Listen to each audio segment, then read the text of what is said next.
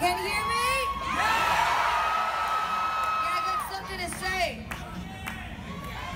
Got a guitar pick? Anybody want one? Um, uh, I love you! There's a lot of stuff going on in the world, you know?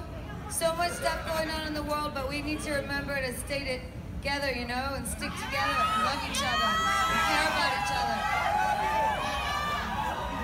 Really important right now. You gotta you gotta put your phones away and you gotta pay attention to each other.